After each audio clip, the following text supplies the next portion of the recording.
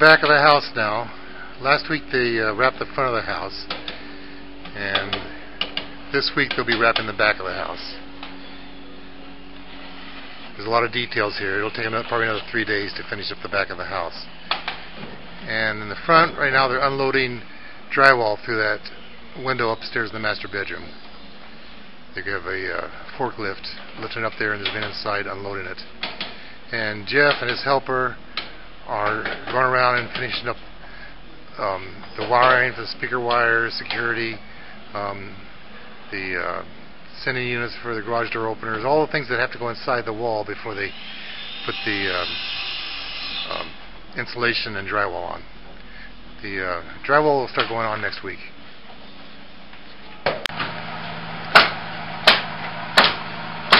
Well, it's Wednesday morning, and let's take a walk around, see what's going on.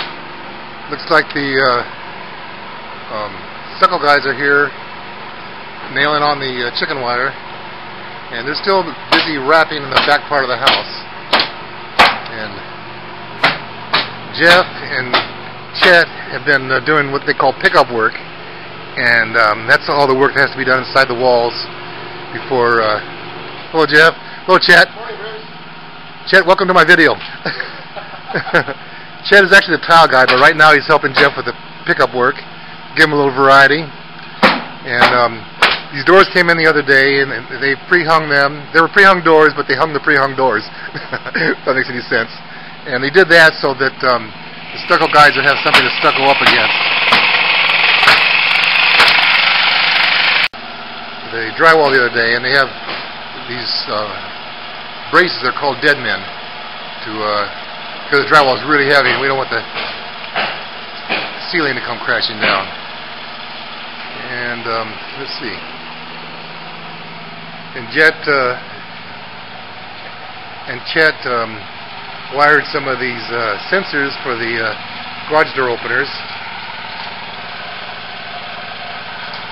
I think that's pretty much all that's going on in the garage. Looks like they're doing stuff around the door. What is this stuff they put on there? Uh-huh. Keep that out 5 eighths, so your drywall will flush right off the street. Oh, that's pretty good. Yeah, it's a nice. So the door jambs are all going to be stuccoed yeah. on these garage doors? Nice. Less wood. Yeah, no wood, no maintenance. I like that. Okay. Now this wall's been moved forward, so we have a nice big closet off the uh, game room.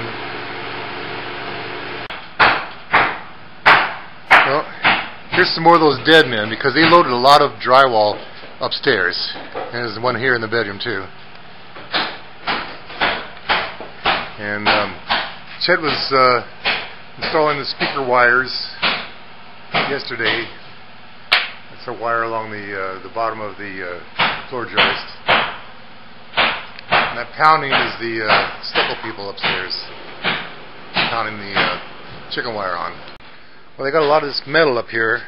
This is the stuff that goes in the ceiling. I don't know what it's called. The ceiling of these two um, these two decks.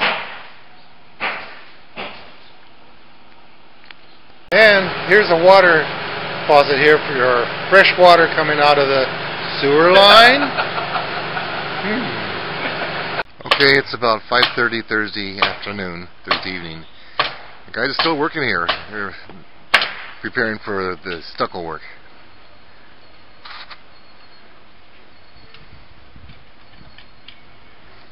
A lot of scaffolding up here.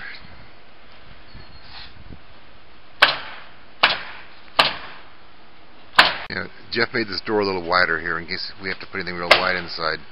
It was 36 inches, and I'm not sure what he widened it to, but it's wider now.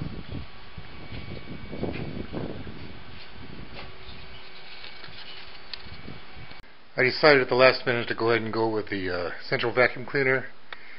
So they're putting these uh, PVC pipes in inside the walls before the drywall goes on. The drywall is, gonna, is scheduled to go on Wednesday, and we're using 5 8 inch drywall throughout. Here's a stack of it, and it's stacked all over the place. It's the end of week 20 now and everything that's going inside the walls is in because next week they're going to be putting the drywall on Monday and Tuesday they'll put the insulation in, then Wednesday they're going to start on the drywall. And but the only difference on the outside that you can see is the uh, that window has been installed now.